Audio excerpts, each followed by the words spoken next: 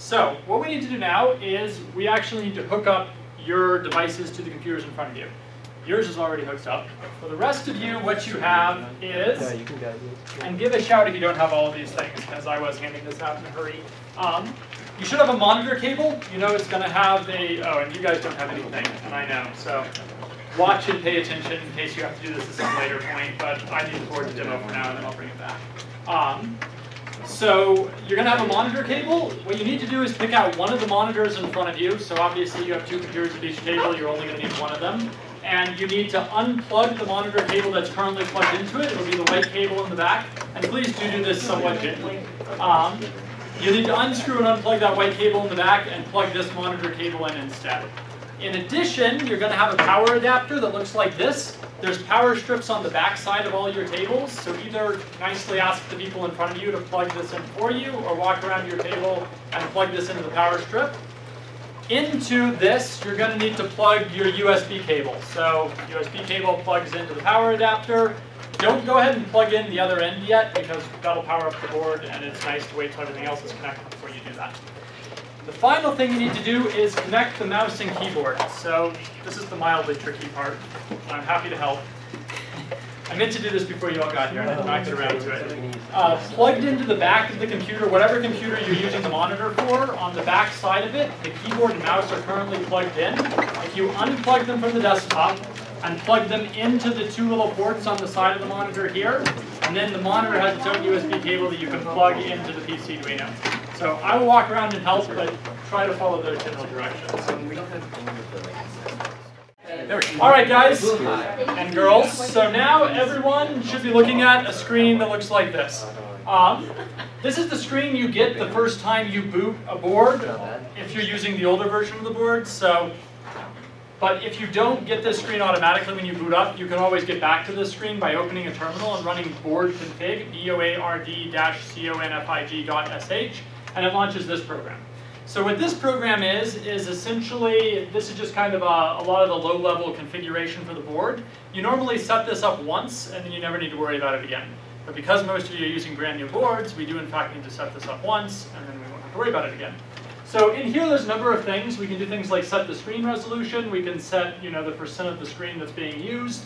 Uh, set the locale, so this is language and stuff, time zone, keyboard. Tell it whether we want it to boot to a desktop or we want it to boot to the command line all of these kind of low-level things can be done inside here.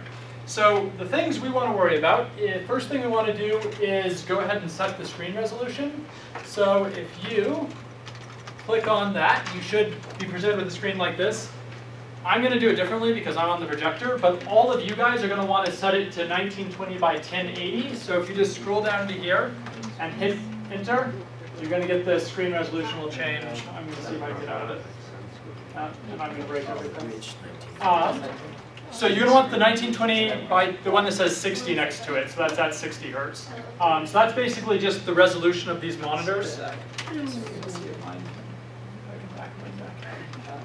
Um, once I get mine back, okay, cool. So if you change the screen resolution, you should get presented with a little thing that says, are you sure? You're going to want to type a Y and hit enter, and then you should get back to this. Are we good? All right someone gets held up, I'll walk around and we're done with this too. But so at this point, you should have not the one I have selected, but that one selected. Um,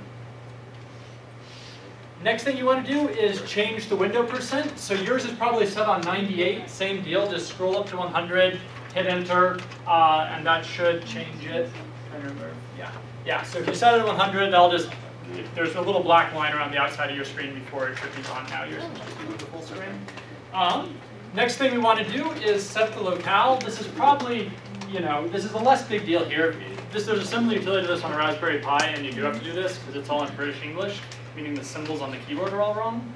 Um, but if you select English, it's going to ask if you want to remove other languages, your call on whether you ever want to switch it back to Chinese, but if you don't, just say yes, and it'll remove the Chinese language files on there. Um, then we want to go ahead and set the time zone. So I assume you guys can all figure out what time zone we're in, but if you go to US and select mountain, and then it'll take it a second and it should pop back to the main menu. Okay. We then want to go ahead and set the keyboard.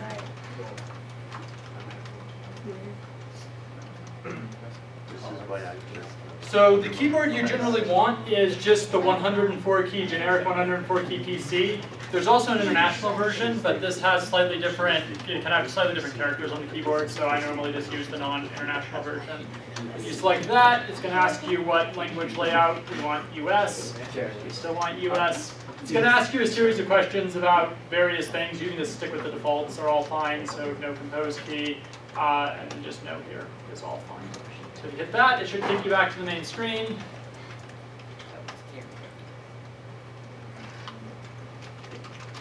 Okay.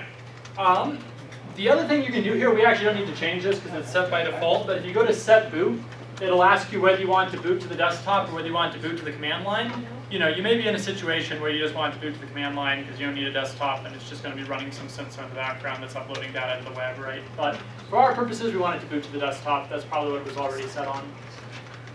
There are a few other options here that, you know, we're not going to get too far into. Um, you can run the update from here. It's not going to work right now because we haven't connected your boards to the Wi-Fi yet, so it wouldn't do you any good to run that.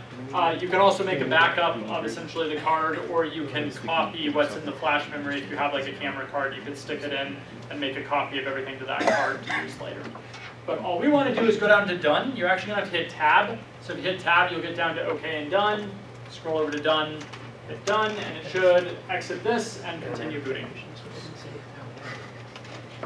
And for you, when you hit done, you're going to get back to that black screen. Generally, Maybe we just like do it under. Oh, so this didn't happen to me, but it's probably going to happen to you guys. It might ask you, it's going to try to auto remove some files, and you're going to get a prompt, do you want to do this, yes, no? Just hit yes and hit enter. This is probably going to take a minute or two for you guys, um, and you may get that prompt twice. So if you get prompted for anything, give it a yes, hit enter, and let it keep going. So when you, all is said and done, you guys should get to a screen that looks like this. I think we're still waiting on a few people. Not everyone. Raise your hand if you're not on this screen. Okay, we'll give it a few more minutes. If you do happen to get on this screen, feel free to start clicking on things. You know, you can explore a little bit. Bear in mind, what you are dealing with here is not a full-blown laptop, so it's not going to be super fast, but it should, you know, if you wait a moment, like pretend you're on Windows 95. If you guys are waiting, you can actually go ahead and connect your accessory board. So, if you haven't done it already, now, when you do this, be gentle. Really, you should shut it down before doing this if you're going to be extra careful. Um, we're probably gonna be doing. you might inadvertently reboot it while doing this, so hopefully it doesn't happen to you. Mine open. Um, so go ahead and take out the main shield board here. If you look carefully, it should only fit on in one direction. You know, don't force it if it doesn't fit. But if you carefully kind of position this over the pins on your board and just kind of push it in with a steady force, um, you should be good. So if you've made it to this screen, I know some of you haven't yet, but if you've made it to this screen, you may want to connect it to the Wi-Fi. So there is a little Wi-Fi signal down here in the corner. If you click on that, it should be pretty self-explanatory. Select CU Wireless. Uh, you are likely going to get the fun little CU Wireless if you go then open up Chrome. So Chromium is Google Chrome with Google's branding stripped out, so it's you know it's Google Chrome web browser. So if you connect to the Wi-Fi and open this up, you probably will hit the campus firewall that's going to want you to give it your identity and all that jazz. Um, feel free to, if you want to avoid that, you could also connect to the guest Wi-Fi instead.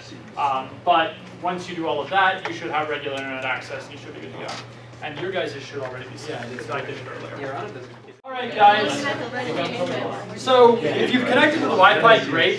The stuff we're doing is not actually going to require you to be connected, but um, it might not be a bad idea should you actually, I lie, you are going to need to be connected. So make sure you're connected to the Wi-Fi, open up a web browser, and make sure you can get to a web page. Either give it your identity or sign into the guest wireless. Um, But we are going to need to install a piece of software here in a second, which is going to require internet access. All right, is everyone connected to the internet? I'm on the desktop, life is good for most of you at least. Okay.